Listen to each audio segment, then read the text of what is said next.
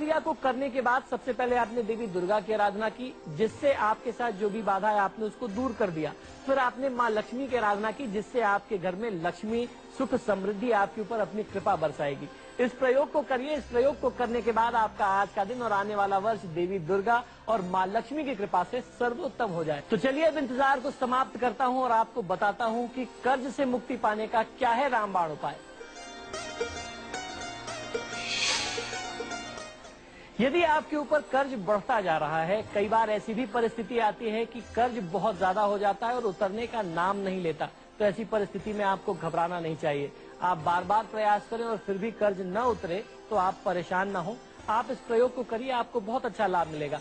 हर रोज संध्या काल में, रसोई में जहाँ भी आप जल रखते हैं, यानी जो पानी रखने की जगह है, उस जगह पर एक मिट्टी के घड़े में पानी भर करके आपको रखना चाहिए।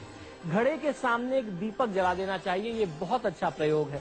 हर बुधवार को गाय को और घोड़े को, हरा चारा खिलाना, हरी मूंग की दाल खिलाना आपको बहुत अच्छा लाभ दे सकता है। और धन से जुड़ा जो एक सबसे बड़ा मामला है, वो ध्यान ये रखना चाहिए कि मंगलवार के दिन आप कर्ज न लें और मंगलवार के दिन आप कर्ज न दें। अगर आप मंगलवार को कर्ज लेते हैं तो आप कभी उस कर्ज को उतार नहीं पाएँगे और अगर आपने मंगलवार को कर्ज दे दिया तो आपका कर्ज आपने जिसको दिया है, वो नहीं उतार पाएगा, यानी आपका पैसा आपको वापस नहीं मिलेगा। तो इस बात को आपको ध्यान रखना है। अधिक से अधिक धन का संचय आप बुधवार के दिन करें, मंगलवार के दिन करें तो आपको बहुत अच्छा लाभ मिलेगा। और एक छोटा सा उपाय साथ में मैं आपको बताता हूँ कि इमली की एक छोटी सी डंडी ला करके अपने धन रखने के स्थान पे, यानी तिजोरी में रख दें। ये प्रयोग आप 21 दिन तक करें, यानी आपको 21 दिन तक घड़ा रख करके जहाँ पानी रखते हैं, वहाँ पे दीपक जलाना है। संध्या काल में सरसों के तेल का गाय को और घोड़े को बुधवार के दिन हरी चीज़ें खिलानी है, विशेषकर हरा साग और उड़द की दाल।